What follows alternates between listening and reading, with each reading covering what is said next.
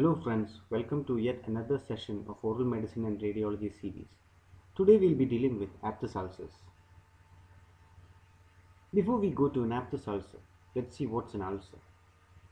By definition, an ulcer is a breach in the continuity of the epithelium of the skin or the mucous membrane to involve the underlying connective tissue as a result of micromolecular cell death of the surface epithelium or its traumatic removal.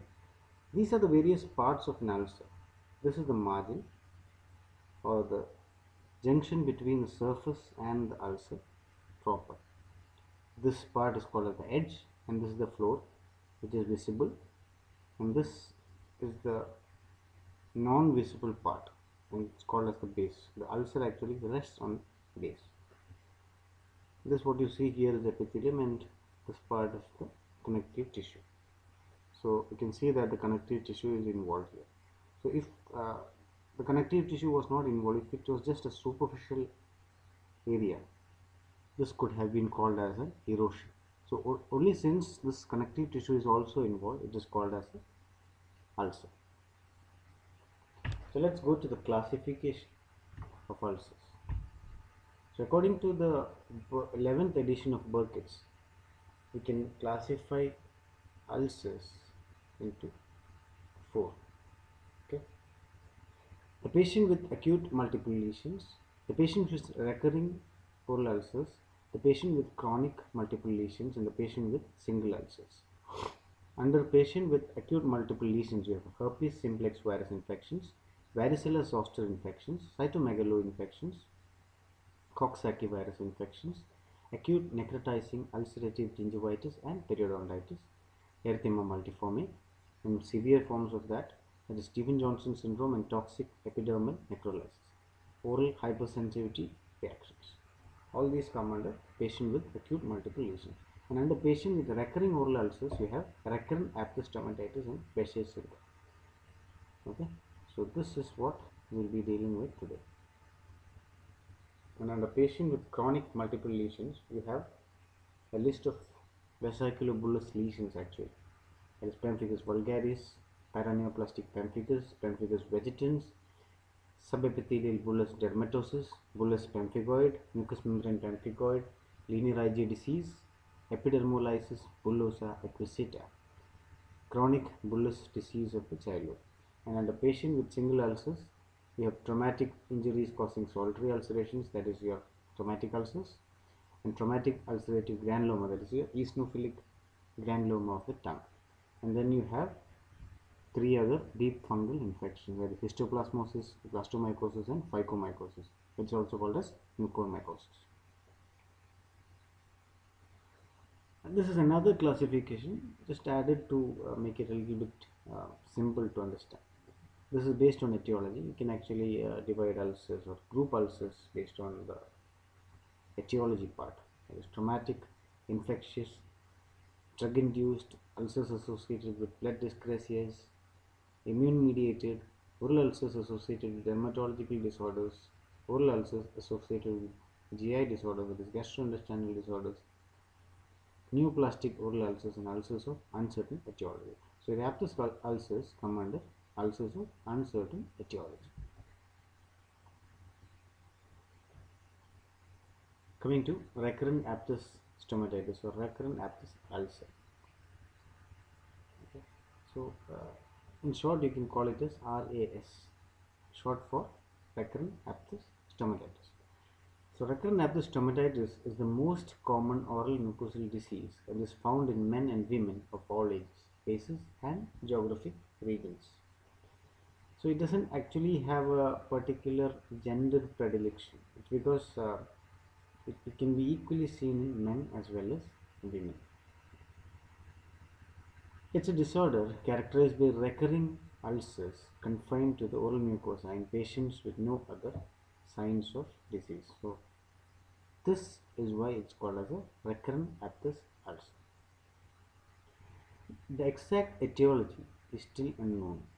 Suggested causes of recurrent aphthous stomatitis are local factors which include trauma, smoking, salivary gland dysfunction, microbial factors like bacterial and virus diseases, exposure to certain drugs like say NSAIDs, okay. Systemic factors like allergic reactions, stress, HIV, Behçet's disease or syndrome, uh, hormonal influences, celiac disease, Crohn's disease, neutropenic ulcers, PFAPA syndrome, Magic syndrome, Sweet syndrome. Uh, these are actually uh, syndromes associated with uh, oral ulcer formation, Aphthous ulcer formation. Uh, disease, uh, here you have uh, oral Aphthous ulcer formation along with you know, ulcers in your eyes, conjunctiva region especially. You can have also um, genital ulcers. Okay, that's Behçet's disease. It's uh, immune mediated disease. Okay? And then you have uh, PFAPA syndrome, which is uh, periodic fever, aphthostomatitis, uh, parotitis, sorry, uh, pharyngitis and adenitis. Okay, you can have aphthous ulcers along with all these other diseases or conditions. In Magic syndrome, uh, you have oral ulcers, genital ulcers, as well as uh, inflammation of cartilage. In Sweet syndrome, you have uh, aphthous ulcers or oral ulcerations along with uh, rashes in various parts of the body like your trunk or arms etc okay? Then coming to uh, nutritional and uh, hematological deficiencies this will also be considered to be one of the causes uh, the depletion of iron zinc folic acid vitamin b1 b2 b6 and b12 there are uh, genetic factors and immunological factors also Coming to the various clinical features of uh, recurrent stomatitis, mostly it is seen in the second decade of life, that is around uh, 10 to 20 years. The prodrome of localized burning or stinging or pain can be felt 24 to 48 hours before proper ulcer formation. A localized area of erythema first develops, within hours a small white papule forms it ulcerates and gradually enlarges over the next 48 to 72 hours. The individual lesions are round, symmetric, shallow, but no tissue tags are present. Multiple lesions are seen, but the number, size, and frequency of these varies. So, according to these, uh, actually, you can subdivide Aphthous ulcers into three that is, minor, major, and herpetiform ulcers. It's usually uh, seen in the freely movable oral mucosa, that is your uh, non-keratinized mucosa. Okay, uh, ulcers are mostly seen uh, involving the labial and the buccal mucosa, but also occur on the tongue, the mucobuccal fold, floor of the mouth, and the soft palate. The keratinized uh, part of the lip mucosa, the hard palate, and the gingiva are rarely involved. Uh, so, as I told you, uh, these are the various pictures of Aphthous ulcers. This here uh, can be considered to be a minor Aphthous ulcer owing to its size which seems to be less than 1 centimeter. Okay. And this uh, could be considered as a major Aptus ulcer because uh, it looks like uh, it's more than 1 centimeter or almost 1 centimeter in size. So this can be considered to be a major ulcer sorry this, these here uh, looks like uh, herpetiform ulcers. So here you can see small ulcers but lot of ulcers. So these can range from around uh, 50 to 100 ulcers. Okay. So such a presentation of uh, ulcer is called as a herpetiform ulcer. As time uh, proceeds, you can actually see that these minor ulcers or maybe small small ulcers they can coalesce to form larger ulcers. Okay. Coming to uh, the three subtypes of Aphthous ulcers in detail. So when you check for the numbers you can see that minor Aphthous ulcer can range from 1 to 10 so it's usually multiple okay? Major it's usually 1 or 2 you can go up to 5 and then herpetiform you always have a huge range that is from 5 to 100 you can have almost 50 or 100 lesions in one particular area. You can have colonies or crops of ulcers. Okay, and coming to the size, you can see that uh, it's around 5 to 10 millimeter. That's less than 1 centimeter. Major is always more than 1 centimeter or from 1 centimeter, or it can be 1 centimeter. Herpetiform ulcers is always less than 0.5 centimeters. And coming to uh, the pain sensation, the major aphthous ulcer, since it occupies a large area, therefore a lot of nerve endings are involved, and the pain attributed can be severe. Whereas in your minor and, and your herpetiform ulcers, it can range from mild to moderate. Coming to the duration, you can see that the major aphthous ulcer he takes a little bit more to heal. It takes more than two weeks to heal. Whereas your minor and herpetiform ulcers, they heal within two weeks.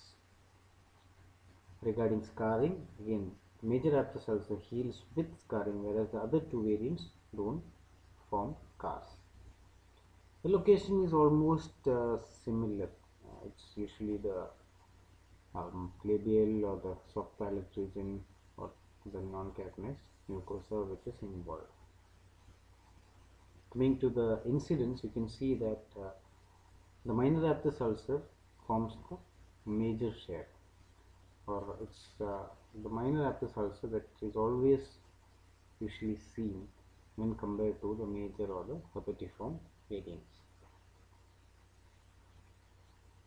Diagnosis, it doesn't actually uh, require a particular lab procedure to form a definitive diagnosis. Uh, it is kind of uh, diagnosis of exclusion. That is, you rule out all the other, all the other conditions and then you zero in on aphthous ulcers.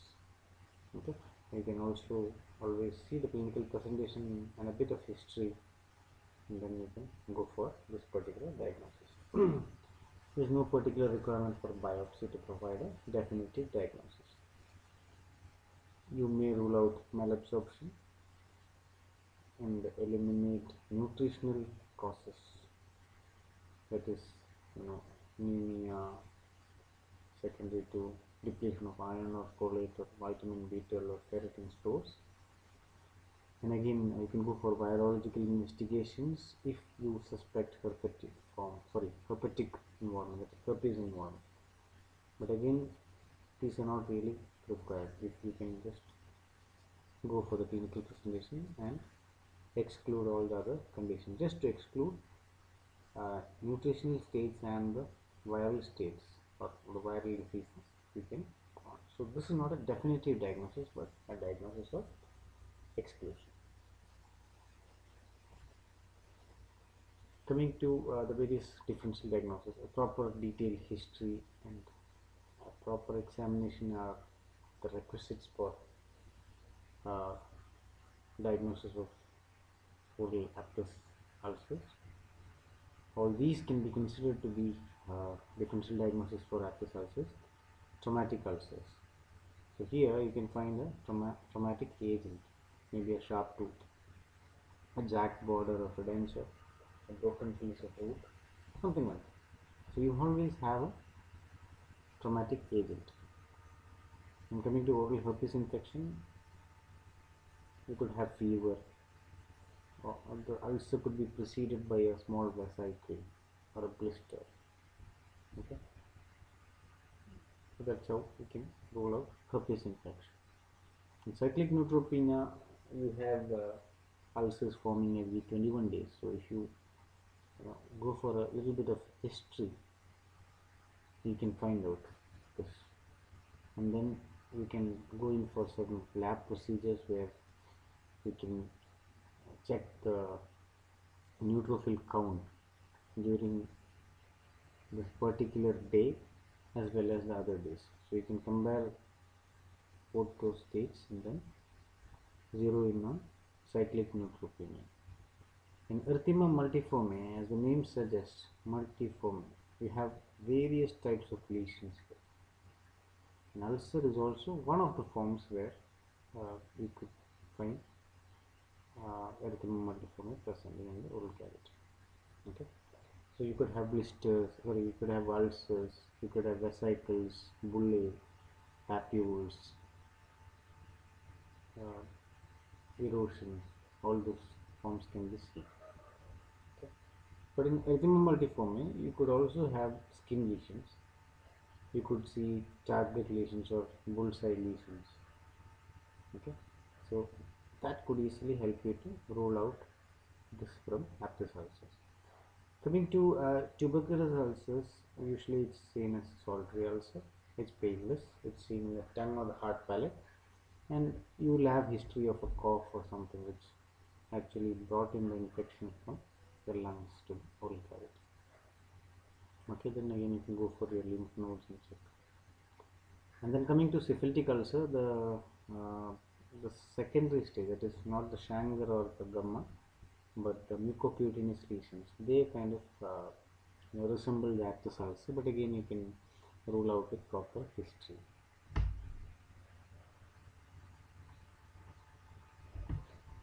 Coming to the treatment aspect, so uh, as we discussed the probable causes or the etiology for ulcers, this is not a very specific uh, treatment regime. You can see that uh, it's a more generalized kind of a treatment offer for uh. Okay, first of all, you try to eliminate all the local factors. Try to reduce the stress, avoid acidic or salty or spicy food, abstain from alcohol or carbonated beverages or any other possible causes which can cause Aphthous. Okay, and then the next step is topical therapy. So we can go for analgesics or anti-inflammatory drugs, antimicrobials or corticosteroids. Under analgesics and anti-inflammatory drugs, we have lidocaine or lignocaine, diphenhydramine, benzydamine hydrochloride, milk of magnesia, etc. So uh, usually uh, a lignocaine or a lidocaine gel or ointment is given. It's applied topically. You can also uh, use benzydamine mouthwash. This is particular drug which is best given as a mouthwash. So in areas where you cannot place your finger or uh, you know the applicator, that is maybe you know extreme parts like you know the oral cavities, um, oropharyngeal part, or areas where your finger cannot reach or penetrate or can cause nausea. You can use this particular formulation, uh, gargle form or the mouthwash form where you can actually gargle and you know apply the uh, medicament to a particular area okay. Then you have antimicrobials like uh, chlorhexidine gluconate which is available as a commercial name under the commercial name listerine or uh, tetracycline mouthwash all these can be used. This again can prevent secondary infections again you can see that uh, it is not a specific treatment it just prevents secondary infection thereby reducing the healing time of the particular ulcer. And then when you have uh, severe uh, lesions which doesn't actually heal very fast you can go for corticosteroid topical corticosteroids. Usually triamcinolone or betamethasone clobetasol propionate are usually given. Uh, the most commonly used uh, corticosteroid in the topical form is triamcinolone acetonide which is available by the name Kenacort or TESS.